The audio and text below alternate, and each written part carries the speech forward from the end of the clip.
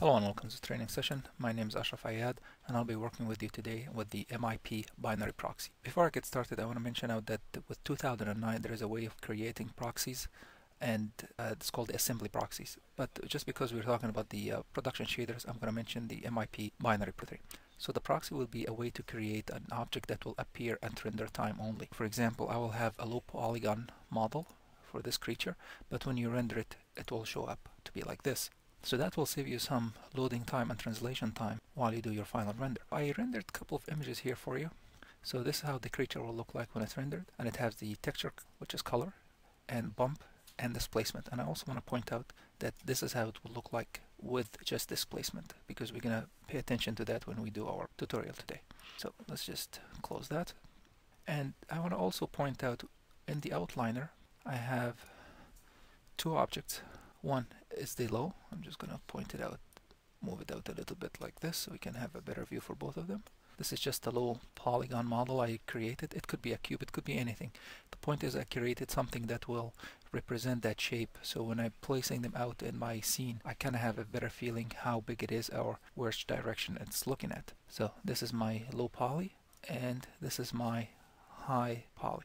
Right, let's call that we have a better naming for it because we're going to need that name later. In order to create the binary proxy, it's very simple. You're going to select your object, go to the Control A to open the attribute editor, and under the name tab itself, not the shape node, but the name itself, under the transform attribute, you will see another section for mental ray. And since this is a uh, geometry shader, it will be under the geometry section in here. So we're going to go to the hypershade and under geometry I should see MIP binary proxy. Just drag and drop middle mouse and you'll have it in here. Now you'll have a few options to work with. For the object file name, it's asking us where shall we output that file. At render time, when we do the render, it will output an, an MI file, a mental images file, that can reference it to it later. This you need to output in a specific path, and you need to have that path correct. So for example, I'm outputting to my temp folder, and I'm going to see temp.mi and you also want to pay attention that the file extension is important. So when you write it down make sure that you have it correct. We want to enable write geometry and then the geometry you want to mention which geometry we're going to be using. So I'm just gonna make sure that I have this correct naming. Go back here and just paste it. Once I do that you will see this icon will change to an arrow. That means it was done correctly. So now if I click here, it goes to the object correctly. So back to my binary proxy, and I'm pretty much ready to go. So when you do your render, you want to make sure you do render. Let's go to the rendering menu.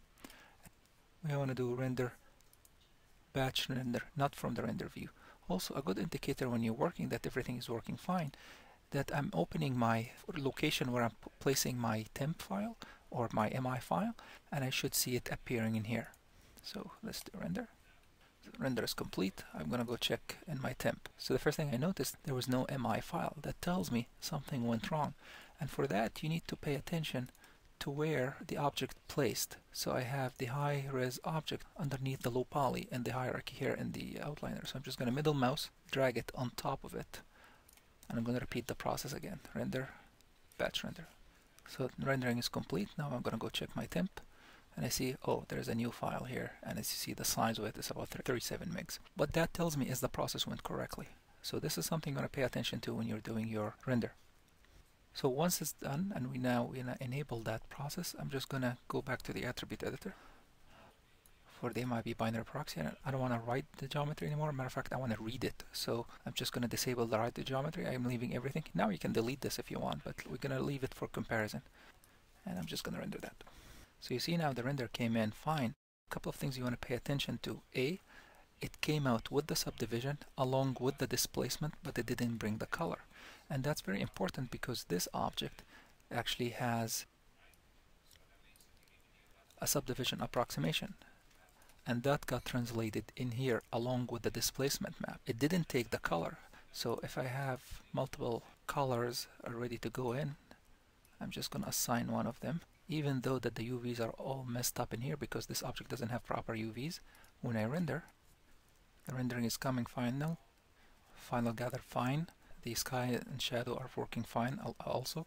And you'll see now the colors has been assigned correctly. So what you want to pay attention to is that all you have to do is to create different shaders. For example here that will have color values and bump or anything such as this if I want to use the same shader that I assigned in here for example but before I render I want to point out that this shader has displacement in it and now my holdout file or object has also a displacement in it. You're going to have a conflict here in render and that might put your render at halt. So if you're going to use that then I'm just going to disable that displacement and render again and you'll see this object now will have displacement and this one won't. So let's render. So you see now this object has the original displacement that was from the MI. This one lost it because we disabled it and it has the color and the bump map and the render time we have is about 22 seconds so let me open a file that I placed multiple objects that referencing the same thing so for, I'm going to delete this one and I'm just going to explain the theory first so this object now has the connection proper but if I want to duplicate it let's say uh, duplicate and move. This object doesn't have any geometry shader so I can go in and connect the same geometry shader in the hypershade one by one or let me delete that do edit duplicate special and I say I want duplicate input connections. And once I hit apply just move it a little bit and go to my geometry shader you will see it's connected to the binary proxy correctly and it's calling the same file. So if I render these guys you see they came out nicely and I didn't get a lot of render time difference. And the point is that you can now have a whole wide of collection of them because I have in my hypershade multiple variation of that color so I can give them different colors and that will give you different illusion. It's a different object. For example if you have wide a range of creatures that's been in a forest or something and you want to make them all look different so you, all you have to do is just create different shaders and just assign them again what I point out don't mix displacement on it because you will be doubling the displacement and that might give you a conflict. So you see you have two different creatures even though the same geometry but different color shaders one also important point that I should uh, mention let me undo a couple of times here.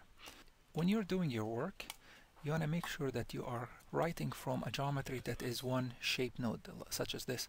If it is under a group for example if I say uh, group and you're gonna try to write to that main one uh, let's call this temp 2 so because I don't want to override mine. And so I should have enabled write to geometry render better you will see nothing been written out just because this is under a group note. So that you always refer to your writing out folder. If it doesn't come out, you notice something went wrong in the process. So let me undo this process. And matter of fact, let me open a new file. that contains multiple objects